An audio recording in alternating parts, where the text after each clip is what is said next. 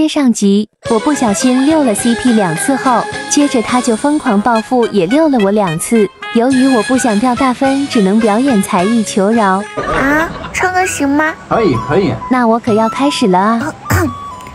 卢克，别发呆，看我造型是哇塞！你这唱的啥呀？这是，上次不许唱了。于是我就掉了把大分，呜呜呜，我太难了，肯定是衣服的问题。咱们换上一套小黄鸭，我就不信还能撞到这个臭男人。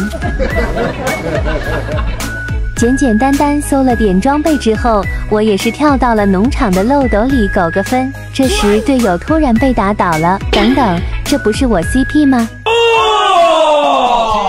哎，兄弟，有话好说，别补，别补，别补。本来我想着去救他的，可是我们离得太远，过去也来不及了。不是，一号，你苟什么分呐？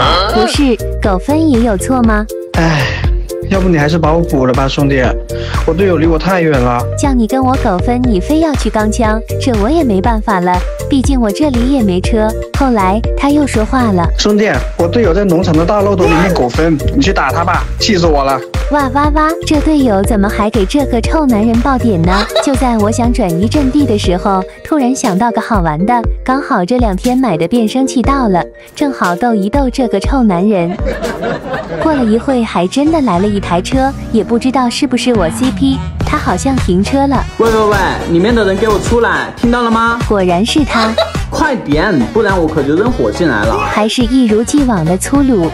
现在打开我的变声器。哎，别别，我出来还不行吗？小哥，别打别打。我这不是没打你吗？还好你遇到的是我，要是遇到的是别人，可就没这么好的运气了。好呀，你个臭男人，对别的小姐姐都这么好的吗？对对，小哥你人真好。走吧，上车。我们先跟上去，反正他还不知道是我，待会逗一逗他。看看他什么反应。